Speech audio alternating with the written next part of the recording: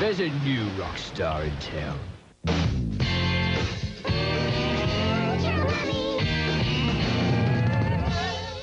PlayStation.